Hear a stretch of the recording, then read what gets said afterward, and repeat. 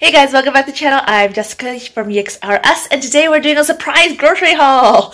And when I say surprise, you know what that means. That means Nelson went grocery shopping. I gave him a list and uh, he came back with that and more. So it's always a surprise.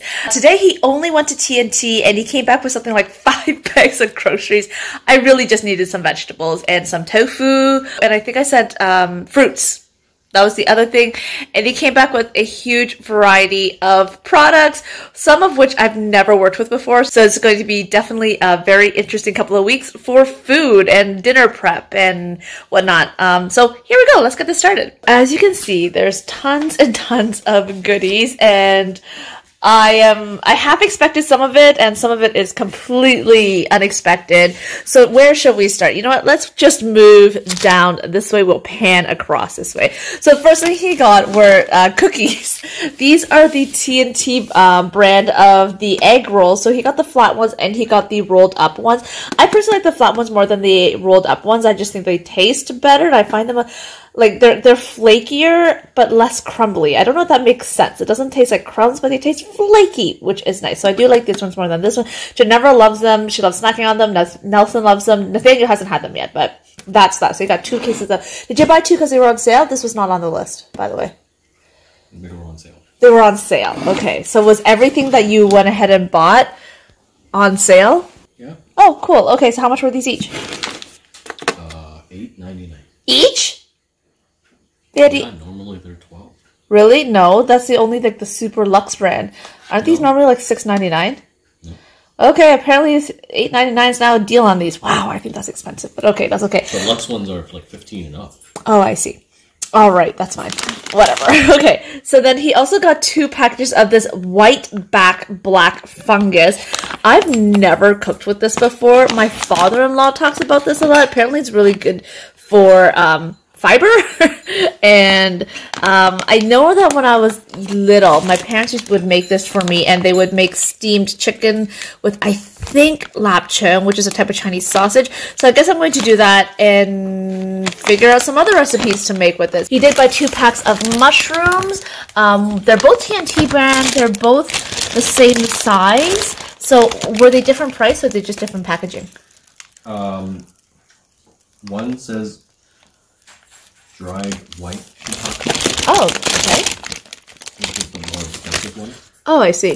The other one says dried shiitake, Oh, I see. which is the cheaper one. So this one was cheaper and this one's more expensive. What was the price point? The white Yeah. one This one? Yeah. did 20 bucks. eighteen dollars. Yeah, that's what I thought. Yep. And then the dried ones, six ninety nine. The cheaper one? Yeah.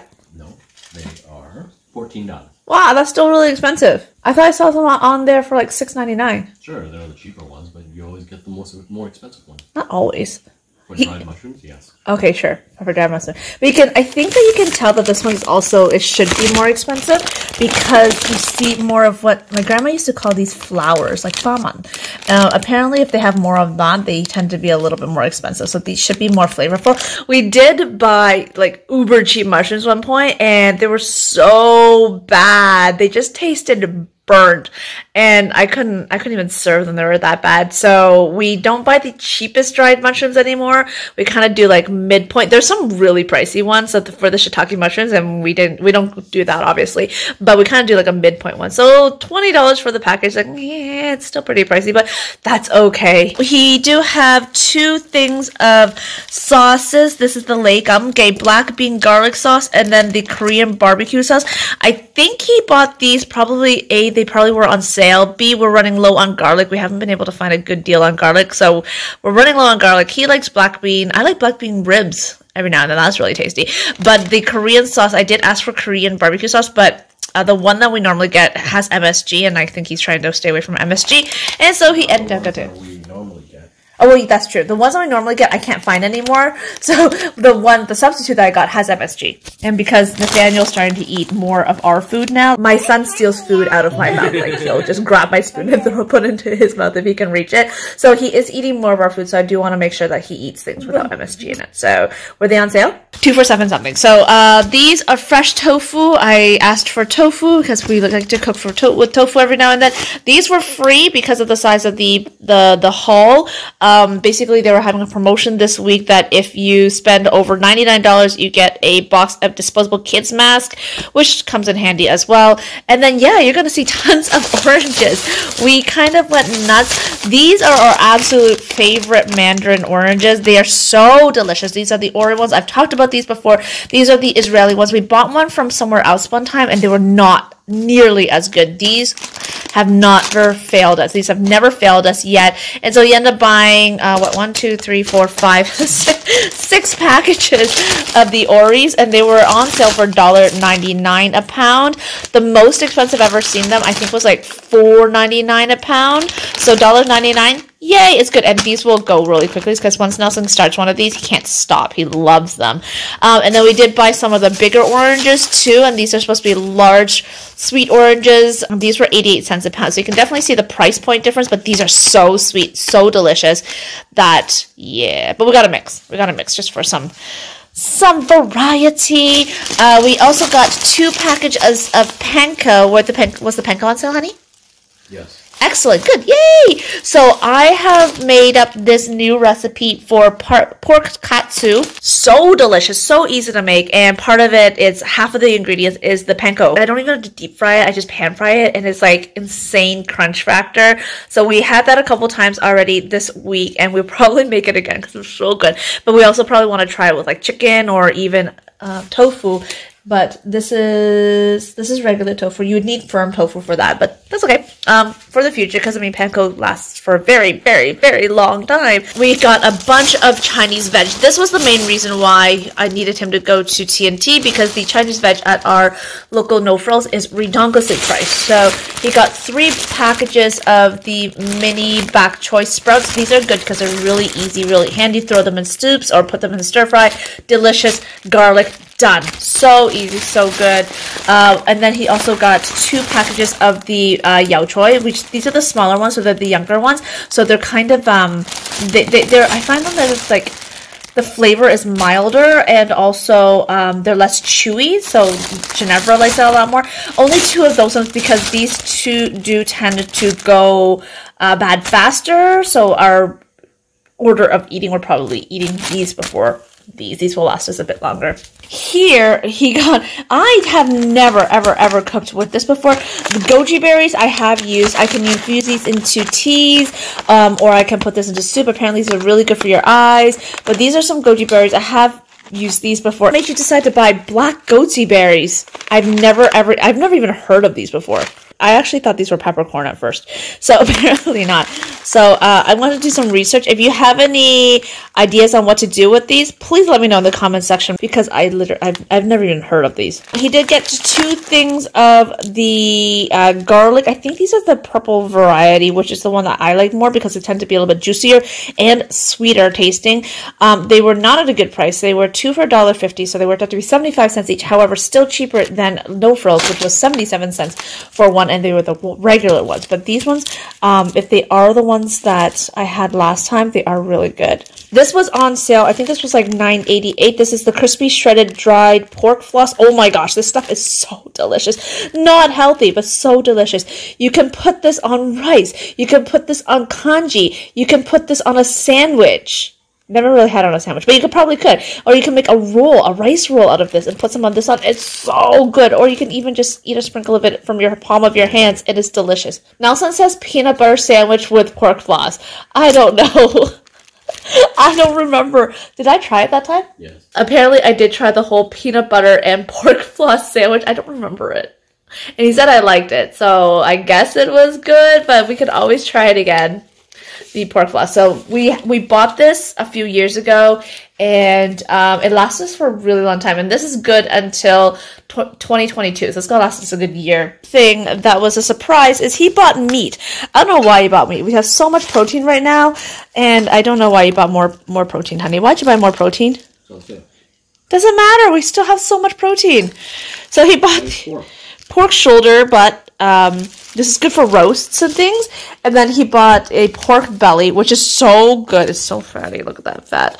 Uh, but we can make our own uh, siu out of it, which is like a roasted pork. And it is really delicious. He bought two packages of the Korean style sweet potato vermicelli. Um, this stuff is really yummy because it keeps its texture, it doesn't really go all goopy. Has uh, I've I've made this before and I've used it for a cold noodle and that was really good.